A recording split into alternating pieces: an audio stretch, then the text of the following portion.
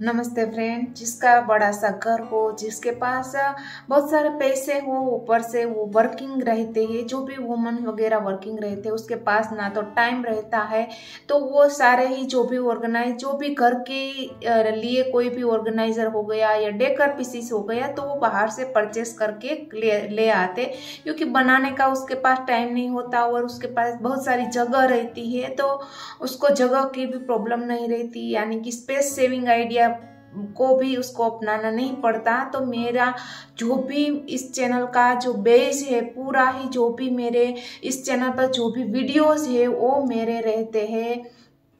एक rental friendly, zero cost और हो सके उतना ही क्विक और इजी डीआईवाई मैं आपके साथ शेयर करूँ जो आपकी डेली लाइफ को एकदम ही इजी बना दे और बहुत सारे पैसे भी बचाए।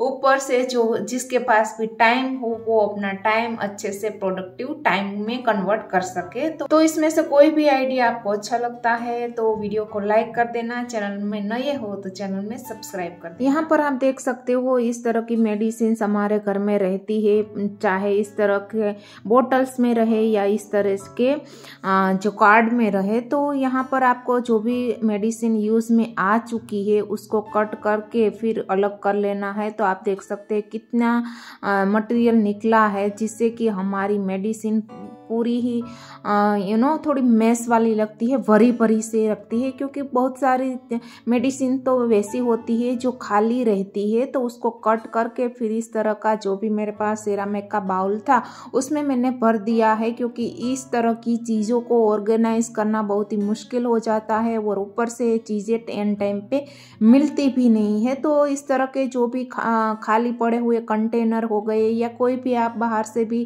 कंटेनर या ऑर्गेनाइज़र लेते हो तो उसमें आप यूज़ कर सकते हो या आप फू, जो फ़ूड मंगाते हैं ऑनलाइन तो उसमें भी जो टेक अवे इस तरह के कंटेनर आते हैं, वो आप इसमें यूज़ कर सकते हैं। उसी तरह इस तरह का जो भी चटनी वगैरह या फिर आपको न्यूचेला वगैरह या फिर कोई भी सिरप वगैरह लेते हैं, बहुत सारी चीज़ों में इस तरह के ग्लास के जार्स मिलते हैं। तो वो आइटम ख़त्म होने के बाद इस ग्लास के जार का आप रीयूज़ कर सकते हैं बहुत सारी चीज़ों को भरने के लिए और चीज़ें इसमें विजिबल भी रहती है और सिक्योर भी रहती है।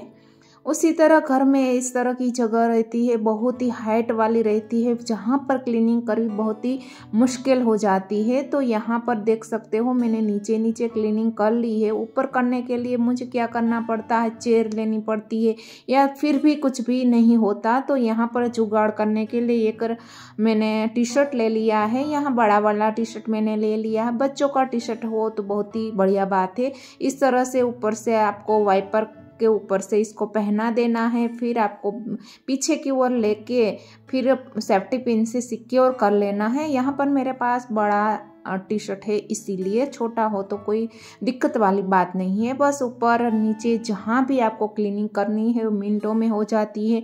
आप इसको कपड़े को गीला करके भी क्लीनिंग कर सकते हो। तो ये आइडिया कैसा लगा? सारे ही आइडिया एकदम रेंटल फ्रेंडली और ज़ीरो कॉस्ट वाले बन, मैंने दिखाए हैं। उसी तरह आप देख सकते हो मेरे पास एक हैंगर था। स्टील का बहुत ही स्टडी और हैंडी है। यहाँ पर four point nine nine dirham almost five dirham का पड़ा था इंडिया में पता नहीं कितने का पड़ा। यहाँ पर इंडिया के रुपीज़ में हंड्रेड रुपीज़ का ये है अभी यहाँ पर मल्टीपर्पज़ हैंगर है, बहुत ही काम आता है। चाहे इसको किचन में लगा लो बाथरूम में लगा लो, या कोई भी टेबल के साइड डोर में आप इसको लगा सकते हैं। बहुत ही स्पेस को जो है ये यूटिलाइज करता है। बहुत सारी चीज़ें हैंग हो जाती है। जो भी हमारे कप बोर्ड में वर्टिकल स्पेस हो या कोई भी कैबिनेट्स में वर्टिकल स्पेस हो, उसको आप अच्छे से यूटिलाइज करने के लिए इस तरह के हैंगर का यूज़ कर सकते हो। चाहे स्पेचुला कटलरी बहुत सारी चीज़ें हैंग कर सकते हो। टोवेल वगैरह हो गया या जो वार्ड्रोब में, जो वर्टिकल स्पेस है, उसके रोड में आप इसको हैंग करके बहुत सारी चीज़ें आप रख सकते हो। तो ये अभी तक आप वीडियो देख रहे हो तो प्लीज़ चैनल को सब्सक्राइब कर देना वीडियो को लाइक कर देना, क्योंकि अभी क्या रहता है कि वीडियो मेरे थोड़े कम आ रहे थे तो थोड़ा व्यू में प्रॉब्लम आ रहा है, क्योंकि जब हम काम करना बंद कर देते हैं तो यूट्यूब वाले भी हमारी चैनल को रेकमेंडेड नहीं करते।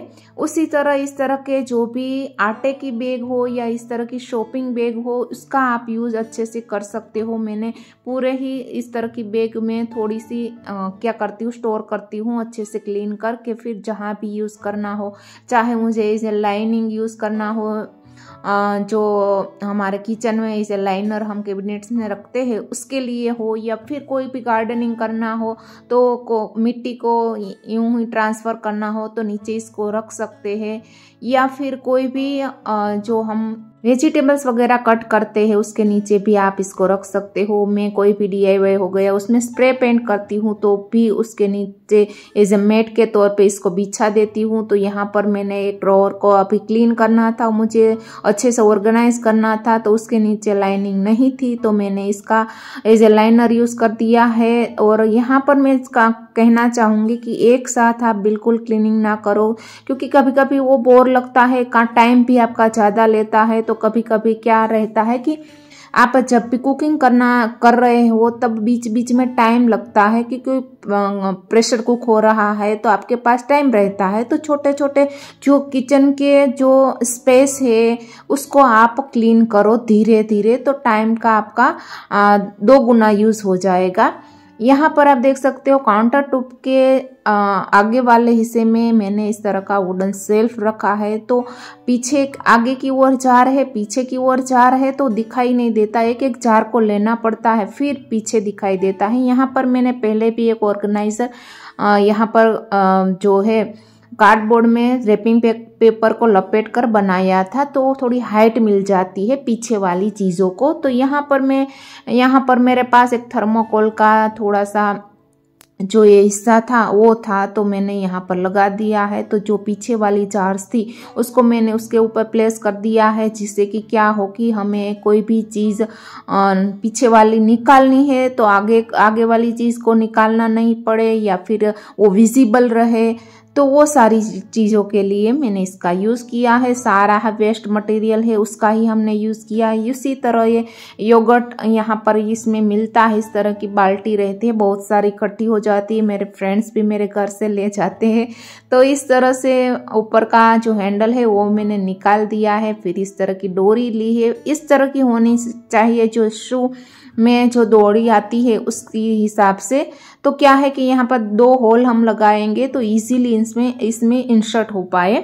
तो यहाँ पर फिर मैंने नाइफ गरम करके फिर दो होल लगा दिए हैं। दोनों जो डोरी है उसके जो हिस्से हैं, जो स्टार्टिंग पॉइंट वाले, उसको इसमें एंटर कर देना है। फिर खींच के एक नोट बना लेनी है। यहाँ पर मैं टेम्पररी ये चीज़ आपको बताने के लिए यहाँ कर रही हूँ तो इसीलिए मैंने नोट बना कर फिर इसे ही रख दी है, वरना नोट बना के आप जो भी एक्स्ट्रा पार्ट है उसको कट कर दो तो अच्छा लगता है। फिर यहाँ पर मैंने कमांड हुक ले ली है कैबिनेट के साइड डोर में इसके प्लेस करेंगे, फिर जो डोरी है उसको इसमें फंसा देंगे, और जो हमारी जो डस्टबिन हमने क्रिएट की है वो यहाँ पर हैंग हो जाएगी। बेसिकली यहाँ पर हम हैंगिंग डस्टबिन बना रहे हैं। जब भी आपको चाहिए तो यूज़ करो, वरना इसे निकाल भी सकते हो, वैसी वाली यूज़ एंड थ्रो भी कह सकते हो। तो जब भी ज़्यादा चॉपिंग वगैरह रहती है तो काउंटर टॉप के नीचे इसको प्लेस कर दो। जो भी चीज़ें निकली है उसको आप इसमें रम कर दो और फिर आप देख सकते हो, कापचा हो तो इसको रख भी सकते हो या फिर आप इसको जब चाहे यूज़ कर सकते हो। तो परमानेंटली आप करना चाहते हो तो भी कर सकते हो। उसी तरह आप देख सकते हो, ये ड्रम स्टिक आई हुई है अभी आई थी तो इसका मुझे, हम गुजराती लोग इसकी ड्रम स्टिक की कढ़ी बनाते हैं तो वो कढ़ी बनानी है तो ज़्यादा थी। तो यहाँ पर इसको कट करने के लिए आपके पास चॉपिंग बोर्ड ना हो तो आप सीधा ही काउंटर टॉप के ऊपर आप इसको कट कर सकते हो, या कोई भी चीज़ हो, इस तरह की वो अच्छे से यहाँ पर कट हो जाती है।